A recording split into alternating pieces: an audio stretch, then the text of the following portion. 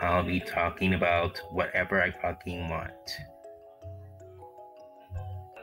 A few days ago, Lerix uploaded his first return in two months, which is his official return to the commentary community.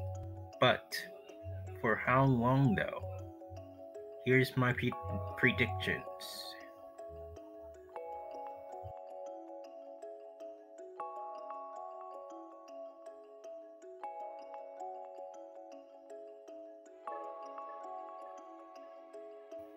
My first prediction is that Lerix would last a whole week in the commentary community and then he'll dip again because he did that one day after he uploaded a video about an annoying woman who shall not be named for the sake of time.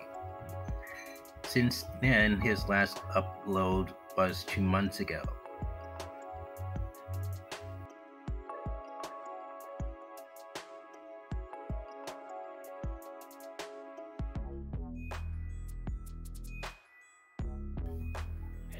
My second prediction is that Lerix would last about five months, and that is because he did commentary for at least four months last year because of his failed as plan to become 2016 commentary again, which why would he thought it was a good idea to begin with if he knew if he was gonna get bored of it?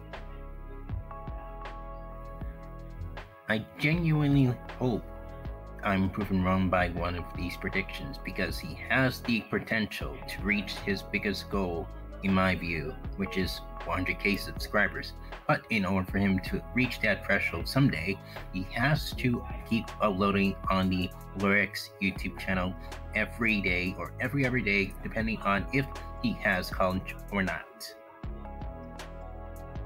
But if I'm not wrong, by then Lerix has proven himself that he isn't worthy and will not succeed.